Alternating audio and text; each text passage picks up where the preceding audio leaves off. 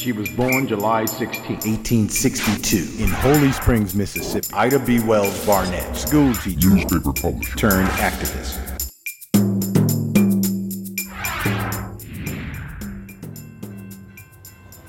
At the young age of 22, Ida refused to leave a first class ladies' car on a Memphis railway. It took three conductors to drag me off that train. I got a lawyer and I sued. Wells won $500 from the lawsuit. She took the money and started the Memphis Free Speech. In 1892, Thomas Moss, a respected black store owner and friend, was accused of raping a white woman, dragged out of jail and hung. That's when Wells started to write articles against lynching. One day, an angry white mob stormed into her office and destroyed everything.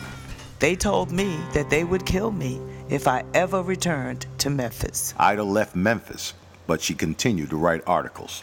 They brought her worldwide attention, eventually bringing her anti lynching campaign right to the White House front door. I felt that one had better die fighting against injustice than to die like a dog or a rat in a trap. Ida B. Wells Barnett, a mother, wife, teacher, journalist, editor, anti lynching crusader, freedom fighter. Ida B. Welded, welded.